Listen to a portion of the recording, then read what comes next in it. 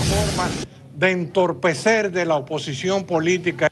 Los pueblistas salieron al frente a las declaraciones del senador Pedro Catrein, asegurando que no se corresponden con la verdad. El senador Catrein está mintiendo. Eh, en ese sentido, nosotros nunca hemos dicho que la Fuerza del Pueblo se va a retirar, muy por el contrario, la Fuerza del Pueblo está en todas las reuniones, ha estado en todos los escenarios y estará en todos los escenarios. Este nuevo choque entre oficialismo y oposición se produjo luego de que varios juristas consultados por la Comisión Bicameral a solicitud de la Fuerza del Pueblo aseguraran que es necesario un referendo para reformar la Constitución.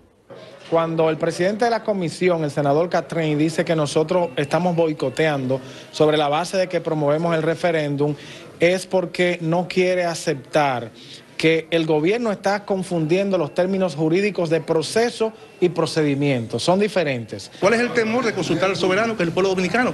Que no es necesario un referendo cuando no se viola derechos fundamentales. Entre los puntos más controversiales de las discusiones sigue estando la reducción de la matrícula de la Cámara de Diputados, aunque al interno del PRM se trabaja una contrapropuesta para que en vez de 53 sean 20 los escaños a eliminar. Nosotros vamos a tratar de que eso no se dé. Con una minoría y vamos a hacer nuestro, nuestras declaraciones como se deben hacer y vamos a hacer eh, a enfocarnos en mejorar la calidad de vida de los dominicanos, no en los asuntos meramente de la estructura política nacional.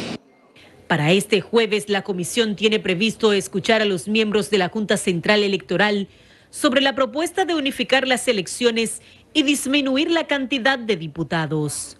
Yarilis Calcaño, CDN.